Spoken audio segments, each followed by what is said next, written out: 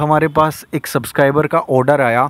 And उन्होंने हमारी video देखी थी एक्चुअली और उन्होंने ऑर्डर कर दिया, और उस ऑर्डर में था हाफ़ चीज़ मैगी और हाफ़ पेरी पेरी फ्राइज़ तो अब प्रॉब्लम ये था क्योंकि हमारे पास कुछ दिनों से ना ज़्यादा ऑर्डर्स आ रहे हैं, और इसकी वजह से हमारे फ्राइज़ बिल्कुल ही ख़त्म हो गए थे, और हमें लगा कि यार अब क्या करें फ्राइज़ तो है ही नहीं. बट फिर मैंने सब्सक्राइबर को कॉल किया और मैंने उनको बताया कि, भाई ऐसा ऐसा है फ्राइज़ नहीं है. एंड वो इतने खुश थे कि लाइक उन्होंने बोला कि, भाई, आप जो भेजोगे ना, मैं वो खा लूँगा।